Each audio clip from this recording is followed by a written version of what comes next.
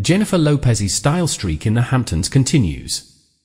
The singer and actress, 54, was photographed Friday, July 19th, leaving an Equinox gym in the Hamptons, where she's been staying amid reports of marriage tensions between her and husband Ben Affleck, who's been in Los Angeles.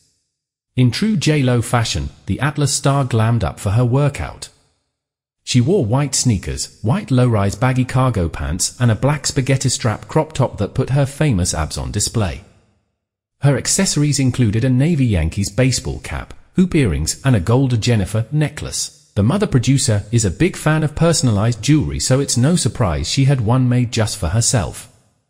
In the past, she's also worn necklaces dedicated to her Oscar-winning spouse, including one chain with hers and Affleck's names on it and another special Ben accessory custom-made by Foundrae that was a gift from Affleck for her 52nd birthday in 2021.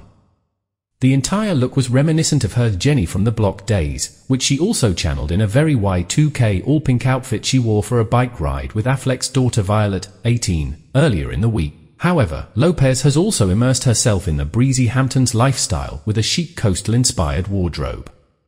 The mom of two put together a monochromatic white look featuring a halter top and cut-off denim shorts for a July 17th shopping and dining excursion with her longtime manager, Benny Medina.